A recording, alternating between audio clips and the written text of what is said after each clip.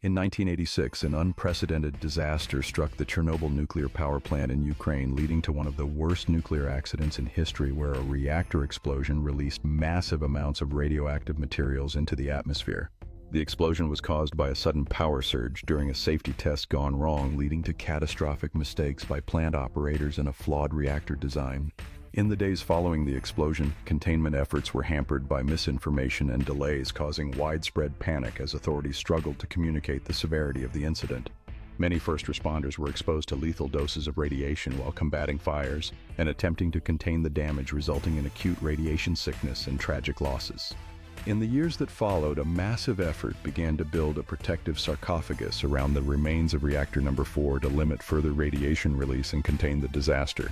Today, the Chernobyl site remains a stark reminder of the disaster, but it has also become a unique wildlife sanctuary, demonstrating how nature can reclaim spaces once occupied by humans.